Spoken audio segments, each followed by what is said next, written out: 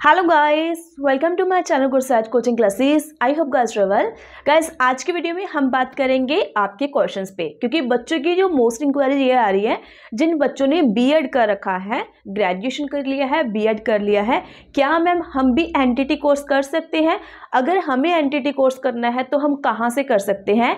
जो government job में eligible हो like D triple S B में या फिर के बी एस में, हम उसके जो फॉर्म निकलते हैं, वो फिल कर पाएँ तो प्लीज़ हमें गाइड कीजिए। आज की वीडियो इस टॉपिक पे रहने वाली है। अगर आप फ़र्स्ट टाइम आए हो चैनल पे चैनल को सब्सक्राइब करके बेल आइकन प्रेस करना क्या था जो एनटीटी की रिगार्डिंग लेटेस्ट गवर्नमेंट पोस्ट आती है या फिर कोई भी इंक्वायरी है जो नोटिफिकेशन की रिगार्डिंग होती है, उसकी फुल डिटेल्स आपको इस चैनल पर मिलती है। तो उसके लिए चैनल को सब्सक्राइब करना। तो देखिए गाइस सबसे पहले जिन बच्चों की ये इंक्वायरी आ रही है बीएड की रिगार्डिंग बहुत सारे बच्चे ऐसे हैं जिन्होंने बीएड कर लिया है सीटेट पेपर भी उनका क्वालिफाई है बट वो भी प्री प्राइमरी टीचर बनना चाहते हैं तो उनके लिए उनको क्या करना होगा? फर्स्टली ये है कि जिनके पास बीएड है बीएड के बेस पे तो वो प्री प्राइमरी टीचर नहीं बन सकते, क्योंकि उनको बोला जाता है कि प्री प्राइमरी टीचर बनने के लिए आपके पास एनटीटी कोर्स होना चाहिए। अभी बात आती है कि एनटीटी कोर्स रेगुलर मोड में like face to face mode में कौन करवाता है जिसके बेस पे हम गवर्नमेंट पोस्ट फिल कर पाए। वेट गाइस यस yes, अभी कंटिन्यू करते हैं थोड़ा सा शॉर्ट था। तो उसमें देखिए, भी रेगुलर जो एनटीटी कोर्स है, वो कौन करवाता है? इसके रिगार्डिंग बहुत सारे यो अभी कंफ्यूजिंग है, बच्चों में डाउट्स हैं कि कहाँ से हम कर सकते हैं। तो पहली बात ये है, मैं आपको बताना चाहती हूँ, जो भी बीएड कैंडिडेट है, जो प्री प्राइमरी में जाना चाहते हैं रेगुलर मोड में जो एनटीटी कोर्स है टू के बाद ये बंद हो चुका है। एन e जो प्लेटफॉर्म रेगुलर कोर्स करवाता था एनटीटी को और वहाँ से थर्टीन तक ही बच्चों ने किया है। जितने भी जो इंस्टीट्यूट है दिल्ली में इंस्टीट्यूट है या अनदर इंस्टीट्यूट है जो एंटिटी कोर्स टू इयर्स का रेगुलर करवाते थे। उन्होंने 2013 तक ही उस कोर्स को करवाया है। उसके बाद रेगुलर मोड में ये कोर्स नहीं हो रहा। इसके अगेंस्ट लाइक इसके अगेंस्ट भी कह सकते हैं या फिर इसके इक्वल कह सकते हैं कि जो एनटीटी कोर्स की जगह पे डीपीएससी कोर्स चलता है तो जो रेगुलर फॉर्म होती है, वो डीपीएससी कोर्स होता है। डिप्लोमा प्राइमरी स्कूल एजुकेशन दो साल का ये कोर्स है। अगर आपको ऐसा चाहिए कि हाँ हमें इस कोर्स के बारे में बताइए जो हम रेगुलर मोड में कर पाएँ किसी कॉलेज के थ्रू या फिर किसी यूनिवर्सिटी के अंडर हम कर पाएँ और उस कोर्स के बेस पे हम गवर्नमेंट पोस्ट फिल कर पाएँ।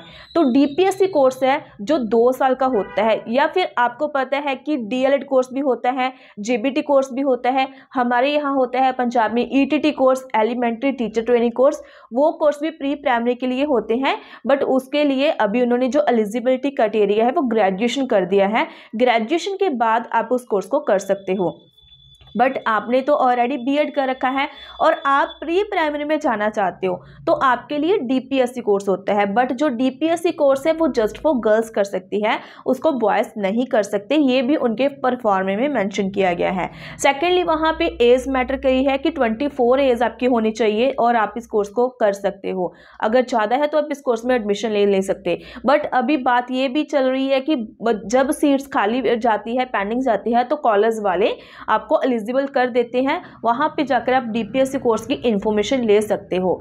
और बात करते हैं कि मैम डीपीएससी कोर्स के बारे में तो हमने मीनिंग बता दिया हमें पता भी चल गया कि डीपीएससी कोर्स होता है दो साल का रेगुलर मोड में। बट हमने तो एंटिटी करनी है। हमने डीपीएससी नहीं करना, हम तो एंटिटी ही करना चाहते हैं। बी है हमारे पास हमारे पास सी टेट क्वालिफाई है एंटिटी बता दीजिए। तो एंटिटी रेगुलर मोड में अभी कोई नहीं करवा रहा। जैसे आप बोलो कि आपने के बी अप्लाई करना है डी ट्रिप्लस बी में अप्लाई करना है, वहाँ पे आपका रेगुलर मोड का ज़्यादा कंसिडर किया जाता है, क्योंकि जो प्रीवियस की वैकेंसीज आई थी, वहाँ पे भी वो रेगुलर मोड वाला ही मांगते हैं। जो एंटिटी अभी के लिए चल रहा है, वो एनसीटी के अंडर चल रहा है नेशनल कैपिटल टेरेटरी के अंदर वो चल रहा है। दो साल का कोर्स भी होता है वन ईयर का भी कोर्स होता है।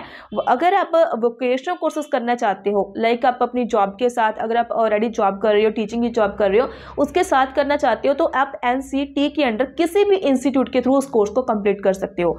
उस पर सेम ही जो आपका लाइक स्टडी भी होता है मेथड होता है कि कैसे होता है। जैसे इग्नो यूनिवर्सिटी ओडियल मोड में प्रोवाइड करती है डी कोर्स वन ईयर का, जिसको हम इजिकल टू एंटिटी बोलते हैं। सेम ही वही प्रोसीजर होता है कि आपके एडमिशन डन होती है, उसके बाद आपको आई कार्ड वगैरह इशू किया जाता है। आपकी जो असाइनमेंट्स होती है, उसके बारे में इंस्टीट्यूट वाले आपको प्रोवाइड करते हैं मटीरियल कि आपको किस तरह से असाइनमेंट बनानी है। जब आपका वो बन जाता है तो बाय हैंड आप इंस्टीट्यूट सबमिट कर सकते हो या फिर बाय कोरियर आप इंस्टीट्यूट सबमिट कर सकते हो। उसके बाद आपके एग्ज़ाम आते हैं। एग्ज़ाम के लिए इंस्टीट्यूट के अकॉर्डिंग जो भी उनके टर्म और कंडीशंस होती है कि वो ऑनलाइन लेते हैं या फिर आपके मैनुअली इंस्टीट्यूट में बुला के आपको एग्ज़ाम लेते हैं तो वो उनके, उन पर डिपेंड करता है। तो वहाँ पर भी आप उनसे बात कर सकती हो कि उनका कौन सा मैथड होता है। और इसी वे में आप वन ईयर या टू ईयर्स कोर्स को कंसिडर कर सकते हो NTT course nursery teacher training course इस फ़ील्ड में लाइक पीटीटी भी कोर्स भी होता है primary teacher training course but वो जितने भी ये कोर्सेज हैं, चाहे आप एनसीटी के अंडर करते हो, चाहे आप इग्नो में ओडीएल मोड में करते हो, चाहे आप एनआईओएस से करते हो, ये सभी वोकेशनल कोर्सेज होते हैं। चाहे आप इस कोर्स को रेगुलर कंडक्ट करते हो लाइक रेगुलर करते हो, कि आप घर पर बैठ के रेगुलर इस कोर्स को ज्वाइन कर रहे हो ट्वेंटी फोर ट्वेंटी फाइव के सेशंस के लिए, ये रेगुलर होते हैं बट ये वोकेशनल ही होते हैं। डिस्टेंस लर्निंग में इस कोर्स को कंसीडर किया जाता है, कि ये कोर्स आपने डिस्टेंस लर्निंग के अकॉर्डिंग कंप्लीट किए हैं। और उसके बेस पे मान के चलो, अभी के लिए तो रेगुलर कोर्सेज ही चल रहे हैं। अभी के लिए तो उन्होंने रेगुलर कोर्सेज को ज़्यादा कंसीडर किया है कि हाँ आपके पास अगर फेस टू फेस मोड वाला रेगुलर कोर्स है, तब इस पोस्ट के लिए एलिजिबल हो सकते हो। बट अभी ये जो कंडीशन है कि एन e ने एंटिटी कोर्स बंद कर दिया, उसकी जगह पे डी कोर्स जो अभी रन हो रहा है, अगर उन्होंने कोई नोटिफिकेशन निकाला कि हाँ एन वाले इस बच्चे अप्लाई कर सकते हैं, तब आप एनसीटी वाला जो दो साल का आपका ऑलरेडी आप कर रखे हो, या फिर आप करना चाहते हो और आप कंप्लीट कर लेते हो, फिर आप उसके बेस पे अप्लाई कर सकते हो। क्योंकि जो एनसीटी के वोकेशनल कोर्सेज होते हैं, वो एज अ प्राइवेट सेक्टर में आपका फुल वैलिड रहता है। प्राइवेट सेक्टर में आप कहीं भी उसको यूज़ कर सकते हो। जॉब लेने के लिए या फिर प्रमोशन ले प्रमोशन लेने के लिए कहीं भी आप उसको यूज़ कर सकते हो। कोई दिक्कत नहीं आती क्योंकि उसकी ऑनलाइन वेरिफिकेशन होती है। बाकी प्रॉपर जो रिकॉर्ड होता है, वो सेंटर वालों के पास होता है। तो अभी मेन बात यही है कि जिन बच्चों ने बी ऑलरेडी कर रखा है सी कर रखा है तो मेन तो यही है कि आप अपनी लाइन पे ही फोकस कीजिए। आप अपनी लाइन के अकॉर्डिंग अपने एग्ज़ाम वगैरह फिल कीजिए और टेस्ट को क्रैक कीजिए। बट फिर भी आपका मन है कि मैं प्री प्राइमरी टीचर बनना चाहती हूँ बी तो कर लिया है बट आगे कुछ करना चाहती हूँ तो पहले तो रिक्वायरमेंट ये है कि गवर्नमेंट एग्ज़ाम के लिए आप डी कोर्स देखिए। अगर डी कोर्स होता है, आपके नियर कोई कॉलेज करवाता है तो वहाँ पर दो साल स्पेंड करके आप डीपीएससी कोर्स कर सकते हो। अगर आप डी कोर्स नहीं करना चाहते, क्योंकि यहाँ पे भी एक फैक्ट ये है, जो डी कोर्स है दो साल का, उसकी जो अमाउंट रहती है फ़ीस रहती है दो साल की, वो आपकी तकरीबन सेवेंटी थाउज़ेंड से प्लस वन लाख के बीच में रहती है डिपेंड करता है कॉलेज पे कि कॉलेज वाले हैं, वो कितनी फ़ीस लेते हैं। जो एनसीटी वाले वोकेशनल कोर्सेज होते हैं, उसकी फ़ीस आपकी फिफ्टीन थाउज़ेंड से ट्वेंटी थाउज़ेंड के बीच में रहती है। तो जो कैंडिडेट लाइक मनी एक्सपेंड कर सकता है, उसके पास टाइम भी है और वो ज़्यादा पेमेंट करने को रेडी भी है तो आप डी कोर्स कर सकते हो। डी आपके पास ऑप्शन है कि आप उस साइट जा सकते हो और उसके बाद जब पोस्ट आती है पोस्ट फिल करके जो आपका गवर्नमेंट एग्ज़ाम है, वो आप क्रैक करोगे और आपकी पोस्ट लाइक आप गवर्नमेंट टीचर बन जाओगे। सेकेंडली वो कैंडिडेट्स जिन्होंने बी बीएड कर रखा है ग्रेजुएशन किया है बीएड भी कंप्लीट है और आगे प्री प्राइमरी के लिए कुछ करना चाहते हैं या फिर एडिशन इंफॉर्मेशन के लिए एडिशन क्वालिफिकेशन के लिए आप एनसीटी के under NTT two year course करके रख सकते हो।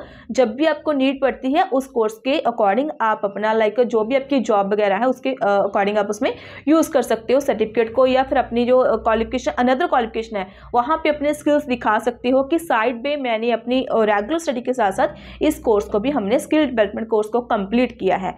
तो ये डिफरेंस डिफरेंस था कि एन वाला और एन e वाला रेगुलर विद वोकेशनल और सभी बच्चे इस फ़ील्ड में लाइक इस क्वेश्चन में कंफ्यूज हो रहे हैं कि बीएड के बाद हम रेगुलर एनटीटी कोर्स कहाँ से करें।